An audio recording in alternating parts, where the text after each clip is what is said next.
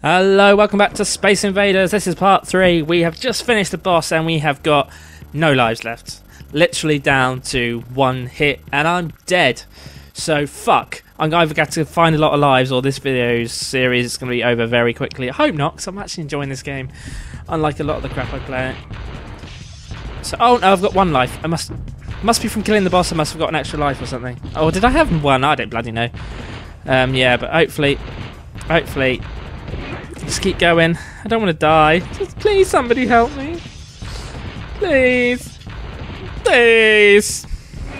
Love the sound effects. Ooh! Oh, I get you now. Oh, okay. I thought I was collecting power-ups, but no, I'm not. You it, once you've got one, that's it. What you have to do to collect them is, uh, I'm not sure. not entirely sure. We'll find out. We'll find out hopefully in the next part, well, next level as soon as we kill these little fuckers. Yes. Oh, come on. Let's get him. I'm not sure if you can collect them for them. I think you get, like, bonus stuff from them, but I think the power-ups are collected from the enemies. Oh, don't quote me on that. Right, what you have to do, if you want to get that nice, if you want to get the power up, which is used by pressing R button, you have to kill four enemies in a row of the same type. Um, so, luckily, that oh, ah, I messed that up. I'm not very good. So basically, if you kill four of the same in a row, then you basically see the meter in the top left that fills up, and you basically get like a super shot, and they can be very handy. So hopefully, I won't fuck it up now. We'll just shoot them. Yes, and we'll get a horizontal left. So I probably should have used that somewhere else rather than there, but never mind.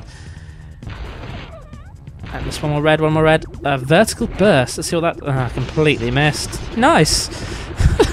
but there's some a lot of green. Ah, yeah, that works a treat. So that is going to make things a lot easier. Um, it's still going to make the boss fights pretty tough because I don't think you get. I don't. Well, there is no way to get those sort of power ups in the boss fight, so that's a bit shitty. Oh my god, we need some lives. Shit, where do we get lives from?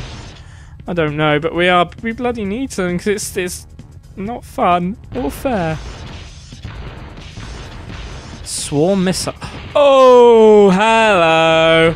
Well, that works a bloody treat. How about this red dude? What do we get? Diagonal burst. Okay, fair enough. So that's pretty nice. I, the sound effects feel really meaty, and that that's you know it sounds futuristic.